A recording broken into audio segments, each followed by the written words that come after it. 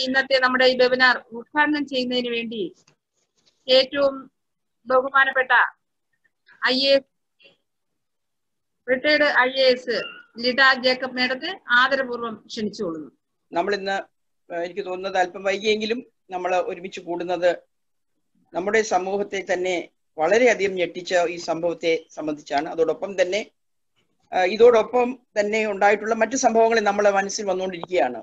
ഒന്നുകൂടെ ഇന്ത്യ ഒട്ടാകെ തലകുലിക്കുകയാണ് ഞാൻ നമ്മുടെ അധ്യക്ഷ വളരെ ഭംഗിയായിട്ട് കാര്യങ്ങൾ ഇവിടെ അവതരിപ്പിച്ചു കഴിഞ്ഞപ്പോൾ ഞാൻ അതിലേക്ക് പോകുന്നില്ല സംഭവത്തിലേക്ക്. പക്ഷേ ഇന്ന് കാര്യങ്ങൾ തിരിഞ്ഞു മറിഞ്ഞു വരികയാണെന്നുകൊണ്ട് നമുക്കറി നമ്മൾ മനസ്സിലാക്കേണ്ടതായിട്ടുണ്ട്. വാദി പ്രതിയാകുന്ന ഒരു സിറ്റുവേഷനിലേക്ക് വന്നെത്തുന്നുണ്ട്. ഇതെല്ലാം ഒരു ഇതിനെ ഇതിനെതിരെ എതിരെ പ്രതികരിക്കുന്നവരും അവരെ ആ കുടുംബത്തെ ആശ്വസിപ്പിക്കാൻ ചെന്നെത്തുന്നവരും ഇതിനെക്കുറിച്ച് മനസ്സിലാക്കാൻ ചെന്നെത്തുന്നവരൊക്കെ തന്നെ ആ സംസ്ഥാനത്തെ എലക്റ്റഡ് ഗവൺമെന്റിനെ തന്നെ അതിനെ അതിനെ അങ്ങണ്ട് എന്താ പറയുന്നത് മറിച്ചിടാൻ ശ്രമിക്കുന്നു ഓവർത്രോയിങ് എ ഗവൺമെന്റ് എന്നുള്ള രീതിയിലുള്ള വ്യാഖ്യാനം പോലും വന്നിട്ടുണ്ട്. ഇത് നമ്മുടെ കേരളത്തിൽ കേരളത്തിൽ മാത്രമല്ല ഇന്ത്യയിൽ തന്നെ കേട്ടുകേൾവിയില്ലാത്ത കാര്യങ്ങളാണ്. ഇത്രയും ഹീനമായിട്ടുള്ള ഒരു സംഭവം ഉണ്ടായിട്ട് ആ കുടുംബമായിട്ടുള്ള ഒരു നമ്മുടെ ഐക്യദാർഢ്യം പ്രകടിപ്പിക്കാനുള്ള ഒരു അവസരം പോലും നിഷേധിക്കുന്ന ഒരു ഒരു സ്ഥിതിവിശേഷത്തിൽ നാം എത്തിയിരിക്കുകയാണ്. ഇത് പതുക്കെ പതുക്കെ ഒരു നോർമൽ ന്യൂ നോർമായിട്ട് വരുന്നു എന്ന് ഞാൻ ഭയക്കുവാണ്. കാരണം ഇത് ഒരു ഹത്രാസ് മാത്രമല്ല. ഗുണവോൽ നമ്മൾ എന്താ കണ്ടത്? അതിഭയങ്കരമായിട്ടുള്ള ആ കുട്ടിക്കുണ്ടായിട്ടുള്ള അതിദാരുണമായിട്ടുള്ള ആ പീഡനത്തിനോടൊപ്പം തന്നെ ആ കുടുംബം തന്നെ ഏറ്റെടുക്ക ഏറ്റുവാങ്ങേണ്ടി വന്ന വളരെ വേദനാജനകം മരണം പോലും രണ്ട് മരണങ്ങൾ പോലും ആ കുടുംബാംഗങ്ങൾ ഏറ്റുവാങ്ങേണ്ടി വന്നു. അപ്പോ ഇതെല്ലാം നടന്നുകൊണ്ടിരിക്കുന്ന ഒരു ഒരു രാജ്യത്തിലാണ് ഒരു നാട്ടിലാണ് നാം ജീവിക്കുന്നത്. എനിക്ക് തോന്നുന്നത് ഇത് മിക്കവാറും ഒരു ഒരു ഒരു ഒരു ഒരു തുടർ കഥയായിട്ട് അങ്ങ് നീങ്ങുകയാണ്. നമ്മൾ നിർഭയ എന്ന കുട്ടിക്ക് കുട്ടിയെ സംബന്ധിച്ച് നമ്മൾ എല്ലാവരും കൂടി മെഴുതിരി കത്തിച്ചു. നമ്മൾ കുറേയേറെ നമ്മൾ ഐക്യദാർഢ്യം നമ്മൾ പ്രകടിപ്പിച്ചു. എന്നിട്ടും ഇതൊക്കെ നടന്നുകൊണ്ടിരിക്കുകയാണ് വാളയാറ് പെൺകുട്ടികൾക്ക് എന്താ സംഭവിച്ചു ആ അമ്മ ഇപ്പോഴും ഇറങ്ങി നടക്കുകയാണ് നീതിക്ക് വേണ്ടി. അതുപോലെയുള്ള ഇപ്പൊ നേരത്തെ പറഞ്ഞില്ല കേരളത്തിൽ തന്നെ ആംബുലൻസിൽ ഒരു കൊറോണ പേഷ്യന്റ് ആശുപത്രിയിലുള്ള വഴിയിൽ ബലാത്സംഗപ്പെടുന്നു അതിന് ഇതെല്ലാം കൊണ്ട് നമ്മൾ ഓർക്കേണ്ടത് എന്താണ്? എവിടെയാണ് നമ്മുടെ ഒരു ഒരു ഒരു ഒരു മനസാക്ഷി? ഇതൊക്കെ നമ്മൾ കേൾക്കും. ഗുണാവോ നമ്മൾ മറന്നു. നിർഭയെ മറന്നു. ഇനി ഹത്രാസിനെ നാം മറക്കും. ഇനിയും പുതിയ പുതിയ സംഭവങ്ങൾ ഉണ്ടായിക്കൊണ്ടേയിരിക്കും. എനിക്ക് തോന്നുന്നത് ഇതിന്റെ മൂല്യ മൂല കാരണങ്ങളിലേക്ക് നാം കടക്കേണ്ടതായിട്ടുണ്ട്. അത് ഒരു ഒരു സാമൂഹിക പ്രസ്ഥാനമായിട്ട് ഒരു മൂവ്മെന്റ് ആയിട്ട് തന്നെ ഇത് ഏറ്റെടുക്കേണ്ടതായിട്ടുണ്ട്. ഒന്ന് നമ്മുടെ പേട്രിയാക്കൽ വാല്യൂസ് ഇതിൽ ഇത് മാറ്റം ഒന്നും വന്നിട്ടില്ല. ഇത്രയും വർഷമായി നാം സ്വതന്ത്ര ഭാരതമായിട്ടും ഇന്നും നമ്മുടെ കുടുംബങ്ങളിൽ നമ്മുടെ പ്രസ്ഥാനങ്ങളിൽ നമ്മുടെ രാഷ്ട്രീയമായിട്ട് നമ്മുടെ സാമൂഹികമായിട്ട് നമ്മുടെ മതപരമായിട്ടുള്ളതാകട്ടെ നമ്മുടെ സാംസ്കാരികങ്ങളായിട്ട് എല്ലാ വേദികളിലും എല്ലാ മേഖലകളിലും ഈ പേട്രിയാക്കൽ വാല്യൂസ് നമുക്ക് വീണ്ടും വീണ്ടും വീണ്ടും കാണാൻ സാധിക്കുന്നതാണ് ഇതിലേക്ക് നമ്മൾ എല്ലാവരും അതിനെക്കുറിച്ച് സംസാരിക്കുന്നുണ്ട്. പക്ഷേ മാറ്റിയെടുക്കാൻ സാധിക്കുന്നു എന്ന് ചോദിച്ചാൽ തീർച്ചയായിട്ടും നമുക്ക് സാധിച്ചിട്ടില്ല.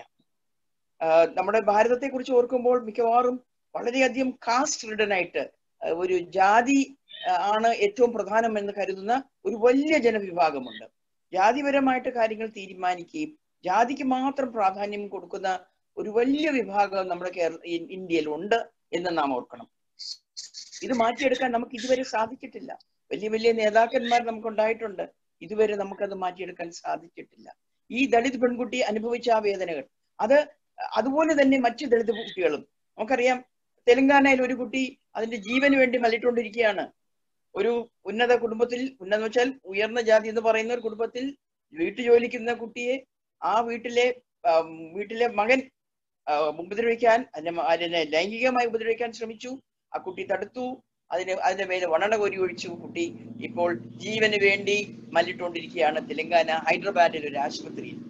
അപ്പോൾ ഇതുപോലെയുള്ള ഒത്തിരി സംഭവങ്ങൾ നമ്മൾ ഇന്നും പത്രത്തിൽ വായിക്കുന്നുണ്ട്. ഹത്രാസിൻ തൊട്ടടുത്ത് തന്നെ വീണ്ടും ഇതുപോലൊരു സംഭവം ഉണ്ടായിട്ടുണ്ട്. ഒരു കൊച്ചു കുട്ടിക്ക് ഒരു എനിക്ക് തോന്നുന്നു പത്ത് വയസ്സ് താഴെയുള്ള കുട്ടിക്ക്. ഇതുപോലെയുള്ള സംഭവങ്ങൾ വരുമ്പോൾ എവിടെയാണ് നമ്മുടെ കണ്ണുകൾ എത്തേണ്ടത്? എവിടെയാണ് നമ്മുടെ ശ്രദ്ധ എത്തേണ്ടത്? നമ്മുടെ കുട്ടികളിലല്ലേ നമ്മുടെ എവിടെയൊക്കെയാണ് ഇതിന്റെ പേട്രിയാക്കൽ വാല്യൂസിനെതിരെ ഈ പേട്രിയാക്കൽ സിസ്റ്റത്തിനെതിരെ എതിരായിട്ട് എവിടെയൊക്കെയാണ് നമ്മൾ നമുക്ക് നമ്മൾ അവബോധമുണ്ടാക്കൽ മാത്രമല്ല തുടച്ചു നീക്കാനുള്ള ഒരു ഒരു ഒരു സിസ്റ്റം ഒരു മെക്കാനിസം ഉണ്ടാക്കിയെടുക്കേണ്ടതെന്ന് ആലോചിക്കേണ്ട സമയം അതിക്രമിച്ചിരിക്കുകയാണ്. നമ്മുടെ നിയമങ്ങളുടെ ആ ഒരു ബലഹീനത. ഇപ്പോ ഈ ഇവർ ഉടൻ തന്നെ ഈ കേസിലാണെങ്കിൽ അപ്പോൾ തന്നെ ആ കുട്ടി അവർ കണ്ടെത്തി പാടത്തിൽ കണ്ടെത്തി ഉടൻ തന്നെ അവർ ആശുപത്രി കൊണ്ടുപോകുന്ന വഴിക്ക് തന്നെ അവർ പോലീസ് പോലീസ് റിപ്പോർട്ട് ചെയ്തു. പക്ഷെ എഫ്ഐആർ രജിസ്റ്റർ ചെയ്യാനുള്ള താമസം. ആ എഫ്ഐആറിൽ തന്നെ എഴുതി വെച്ചിരിക്കുന്ന കാര്യങ്ങൾ. വളരെ പ്രകടമായിട്ടുള്ള മുറിവുകളും അത് റേപ്പിന് വിധേയമായി എന്നുള്ള ഉണ്ടായിട്ട് പോലും അത് റേപ്പ് എന്ന് ആർക്കും പറയാൻ സാധിച്ചിട്ടില്ല. എന്താണ് അവിടെ ഇപ്പോഴാണ് ഇപ്പൊ നമ്മുടെ പോലീസ് ഏറ്റവും കൂടുതൽ ഒരു സർക്കാരിന്റെ മുഖം എന്ന് പറയുന്നത് ഈ പോലീസ് തന്നെയാണ്. പക്ഷെ ഈ പോലീസ് ഫോഴ്സിൽ ഇതുപോലെയുള്ള ഈ ജാതീയതയും ഈ ദളിതരോടുള്ള ഒരു അവജ്ഞയും അവർ മനുഷ്യ അവരെ മനുഷ്യരായി കാണാനുള്ള ഒരു ഒരു പ്രയാസവും ഇന്നും നിലനിൽക്കുന്നു എന്ന് പറയുമ്പോൾ നമുക്ക് ദളിതരായ നമുക്ക് രാഷ്ട്രപതി ഉണ്ടായിട്ടുണ്ട് വലിയ വലിയ നേതാക്കന്മാർ ഉണ്ടായിട്ടുണ്ട് പറഞ്ഞിട്ട് ഒരു കാര്യവുമില്ല. കാരണം നമ്മുടെ നമ്മുടെ ഗ്രാമപ്രദേശങ്ങളിലും പട്ടണ പ്രദേശങ്ങളിലും ഒക്കെ ദളിതരായ ജനവിഭാഗം ഇപ്പോഴും ചൂഷണവും അവർ വിവേ വിവേചനവും ഒക്കെ അനുഭവിച്ചുകൊണ്ടിരിക്കുകയാണ്. അപ്പോൾ ഈ സാമൂഹ്യ മാറ്റങ്ങൾ താഴെ തട്ട് വരെ ഉയർന്ന തട്ടിൽ എല്ലാ തലങ്ങളിലും എത്തിക്കാനുള്ള മാർഗങ്ങൾ നമ്മൾ നോക്കേണ്ടതായിട്ടുണ്ട്. പുതിയ വിദ്യാഭ്യാസ നയം വന്നിട്ടുണ്ട്. എവിടെയാണ് ഇവിടെ എവിടെയും തന്നെ ജാതീയതയുടെ ഇതിനെതിരായിട്ട് പ്രവർത്തിക്കണമെന്ന് എവിടെയും ഞാൻ കണ്ടിട്ടില്ല. പെൺകുട്ടികൾക്ക് സുരക്ഷ കൊടുക്കണമെന്നുള്ള ആ ഒരു ഒരു ഒരു വാക്യം പോലും എവിടെയുമില്ല. എന്നാൽ ഏറ്റവും കൂടുതൽ പ്രധാനമായിട്ടുള്ള കാര്യങ്ങൾ തന്നെയാണ് നമ്മുടെ ഇന്ത്യൻ സമൂഹത്തിനും കേരള സമൂഹത്തിനും നാം അഭിമുഖീകരിക്കുന്ന അഭിമുഖീകരിക്കുന്ന പ്രശ്നങ്ങൾ എന്ന് നമുക്ക് മടിയില്ലാതെ വളരെ തുറന്ന മനസ്സോട് നമുക്ക് പറയാൻ സാധിക്കും. അപ്പോൾ ഞാൻ നേരത്തെ പറഞ്ഞ പോലെ നമ്മളെ ഒരു കാര്യം നോക്കേണ്ടത് എവിടെയൊക്കെയാണ്? ഇപ്പൊ ഈ കേരളത്തിൽ നമുക്ക് ആ, പുരുഷന്മാരെക്കാരിലും കൂടുതൽ സ്ത്രീകളാണ്. എന്നിട്ട് പോലും നമുക്ക് ഇവിടെ റേപ്പും ബലാത്സംഗവും ലൈംഗിക അതിക്രമങ്ങളും ഒക്കെ നടക്കുന്നുണ്ട് വടക്കേ ഇന്ത്യയിലുള്ള ബീഹാർ യു പി ആ, അതുപോലുള്ള പല പല സംസ്ഥാനങ്ങളിൽ ഇന്നും സ്ത്രീകളുടെ അനുപാതം സ്ത്രീ പുരുഷ അനുപാതം വളരെ കുറവാണ്. കേൾക്കാൻ ഇരുന്നിട്ട്. കേൾക്കുന്നുണ്ടോ? കേൾക്കാം. Nine thirty three. തൊള്ളായിരത്തി മുപ്പത്തി മൂന്ന് ടു തൗസൻഡ് മെയിൽസ് എന്നാണ്. അപ്പോൾ സ്ത്രീകളെ കുഞ്ഞു പെൺകുഞ്ഞുങ്ങളെ ജനിക്കാൻ അനുവദിക്കാത്ത ഒരു അവസ്ഥയാണ്. കാരണം ജനന സമയത്ത് പെൺകുട്ടികളാണ് കൂടുതൽ ജനിക്കുന്നത് എന്ന് പറയപ്പെടുന്നു. എന്നാൽ അവിടെ നമുക്ക് പെൺകുട്ടികളെ ജനിക്കാൻ അനുവദിക്കുന്നില്ല. ജനിച്ചു കഴിഞ്ഞാൽ അവരെ ശരിക്കും ശുശ്രൂഷിക്കുന്നില്ല. ഈ മരണനിരക്ക് കൂടുതൽ പെൺകുട്ടികൾ ഉണ്ടാകുന്നു അങ്ങനെയുള്ള ഈ ഒരു സ്ക്യൂഡ് ആയിട്ടുള്ള ഒരു ഡെമോഗ്രഫിക് ആണ് ഉണ്ടാകുന്നത് കൂടുതൽ ആൺകുട്ടികളും കുറഞ്ഞു പെൺകുട്ടികളും. അപ്പോൾ ഇങ്ങനെ കൂടുതൽ ബുദ്ധിമുട്ടുള്ള പ്രദേശങ്ങളിൽ അവിടെ സൗകര്യമായിട്ടുള്ള ഓരോ വീടുകളിലും സ്വച്ഛ ഭാരത് ഒക്കെ ഉണ്ടായെങ്കിലും എല്ലാ വീടുകളിലും ഇപ്പോഴും സ്വന്തമായിട്ടുള്ള ശൗചാലയങ്ങൾ ടോയ്ലറ്റുകൾ ഇല്ല കുടിവെള്ളമില്ല വിറകിനുള്ള നമുക്ക് എൽ പി ജി കിട്ടിയെങ്കിൽ ആ ഒരു കൊല്ലമാണ് നിന്നത്. അവർക്ക് ഇനിയും ഇനിയും വാങ്ങിക്കാനുള്ള സാമ്പത്തിക ശേഷി ഇല്ല അതുകൊണ്ട് വീണ്ടും വിറക് ശേഖരി- ശേഖരിക്കാൻ പോകണം. പാടങ്ങളിൽ പോയി അവർക്ക് അവരെ അവരെ പ്രാഥമിക ആവശ്യങ്ങൾക്ക് പാടങ്ങളിൽ പോകുന്നു. പുറത്തിറങ്ങി പോകേണ്ടി വരുന്നു. വെള്ളം വെള്ളം വെള്ളം ശേഖരിക്കാൻ പോകണം. കുടിവെള്ളം പശുക്കളെ വളർത്താൻ വേണ്ടി അല്ലെങ്കിൽ വീട്ടിലുള്ള മൃഗാദികൾക്ക് വേണ്ടിയുള്ള പുല്ലിന് ചത്തിയെടുക്കാൻ പെൺകുട്ടികളാണ് ഇറങ്ങുന്നത്. സ്ത്രീകളും പെൺകുട്ടികളും. അപ്പോൾ ഈ ഒരു അവസ്ഥയിൽ നമുക്ക് അവരെവിടെയാണ് അവർക്കുള്ള സുരക്ഷിത സുരക്ഷിതത്വം എന്ന് ആലോചിക്കുമ്പോൾ നമുക്ക് വളരെയധികം ഭയാനകമായിട്ടുള്ള ചിത്രമാണ് നമുക്ക് കാണാൻ സാധിക്കുന്നത്. നമ്മുടെ നിയമങ്ങൾ എത്ര വേണമെങ്കിൽ നമുക്ക് നിയമങ്ങൾ ഇല്ലേ ആ നിർഭയ കേസ് ഉണ്ടായതിനു ശേഷം സി ആർ പി സിയിൽ തന്നെ നമുക്ക് ഭേദഗതിയിൽ ഉണ്ടായിട്ടുണ്ട്. പെൺകുട്ടികളെയും കുഞ്ഞുങ്ങളെയും കുട്ടികളെയും പതിനെട്ട് വയസ്സുള്ള വരെയുള്ള കുട്ടികളെ ലൈംഗിക ചൂഷണത്തിൽ നിന്നും അതിക്രമങ്ങളിൽ നിന്നും സംരക്ഷിക്കാനുള്ള പോക്സോ ആക്ട് ഉണ്ട്. നമ്മുടെ സി ആർ പി സിയിലുള്ള വകുപ്പുകളുണ്ട്. സ്ത്രീകളെ ഡൊമസ്റ്റിക് വയലൻസിൽ നിന്നും അവരെ സംരക്ഷിക്കുന്നതിനുള്ള നിയമമുണ്ട്.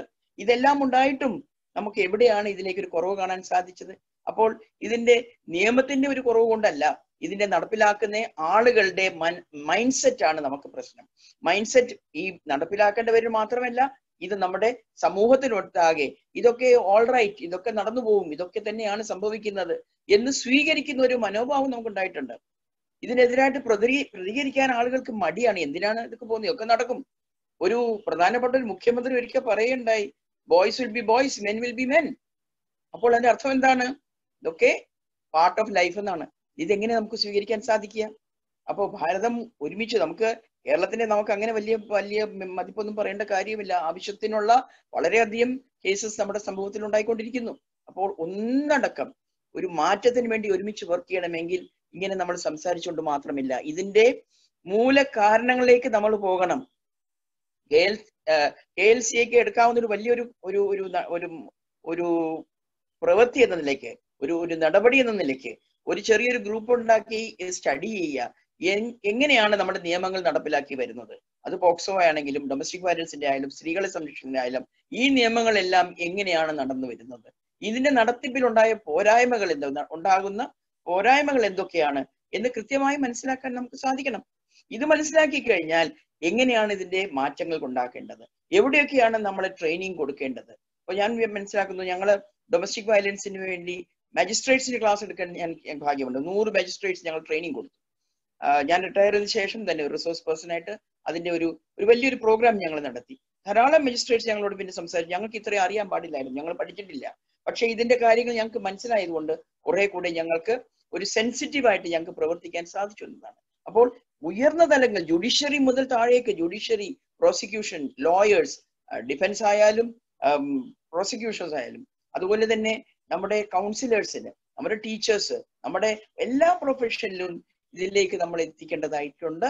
ഇതിന്റെ ഒരു സ്റ്റഡി നടത്തിയാൽ തീർച്ചയായിട്ടും കെ എൽ സി എ ഇതിന് മുൻകൈ എടുത്താൽ നല്ല രീതിയിൽ നമുക്ക് നമ്മുടെ ആളുകളെ കൊണ്ട് ഒരുമിച്ച് കൊണ്ടുവന്ന് ഇതിന്റെ ഒരു നല്ല ഒരു അവലോകനം മാത്രമല്ല വളരെ ക്ലോസ് ആയിട്ട് മൈന്യൂട്ട് ആയിട്ടുള്ള ഒരു ഒരു റിവ്യൂ മാത്രമല്ല ഒരു എക്സാമിനേഷൻ ഒരു സ്റ്റഡി നടത്താൻ സാധിക്കുകയും അതിൽ നിന്ന് കിട്ടുന്ന നല്ല ശുപാർശകളും നിർദ്ദേശങ്ങളും നമുക്ക് ഉന്നതലങ്ങളിൽ എത്തിക്കാൻ സാധിക്കും. കാരണം ഇതൊക്കെ നമ്മൾ പഠിച്ചു വരുമ്പോൾ പ്രായോഗികമായിട്ടുള്ള പല കാര്യങ്ങളും നമുക്ക് അവതരിപ്പിക്കാൻ സാധിക്കും. അതുപോലെ തന്നെ നമ്മുടെ സാമൂഹ്യ ജീവിതത്തിൽ ഉണ്ടാകുന്ന ഒരുപാട് എന്താ പറയുന്നത് ഡിസ്ക്രിമിനേഷൻ ഉണ്ട് വിവേചനങ്ങളുണ്ട്.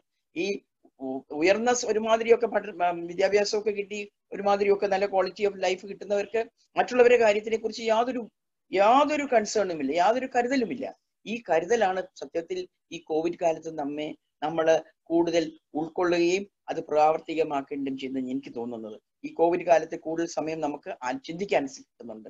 ഈ ചിന്തിക്കുന്ന യേശു നമുക്ക് നമ്മളെ പഠിപ്പിച്ചതുപോലെ മറ്റുള്ളവരെ പറ്റി ചിന്തിക്കാനുള്ള ഒരു ആഹ്വാനം ഈ കോവിഡ് നമുക്ക് തരുന്നു എന്നാണ് ഞാൻ മനസ്സിലാക്കുന്നത്.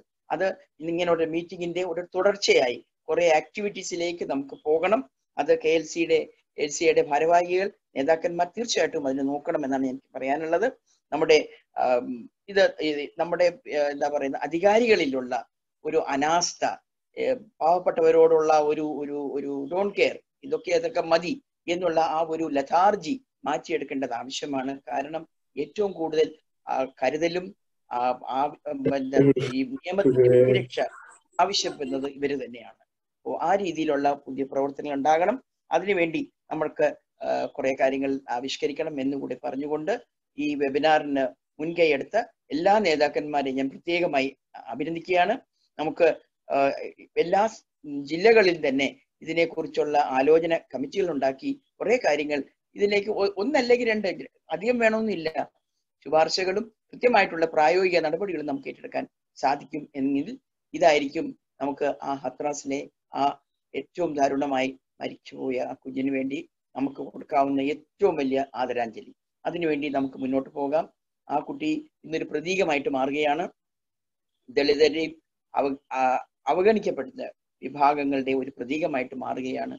ആ കുട്ടിയുടെ മരണം ഒരു യൂ ഒരു വ്യ- വ്യ- വ്യർത്ഥമാകാതെ സമൂഹത്തിന് ഒരു നല്ല ഒരു ഒരു മാറ്റത്തിന് തുടക്കം കുറിക്കട്ടെ എന്ന് പ്രാർത്ഥിച്ചുകൊണ്ട് ആശംസിച്ചുകൊണ്ട് എല്ലാ വിജയങ്ങളും ഈ വെബിനാറിന് നൽകിക്കൊണ്ട് ഞാൻ നിർത്തുന്നു. ഈ വെബിനാർ ഈ ഈ മീറ്റിംഗ് ഔപചാരികമായി ഉദ്ഘാടനം ചെയ്ത് ഞാൻ പ്രഖ്യാപിക്കുന്നു. എല്ലാവർക്കും എന്റെ നമസ്കാരം.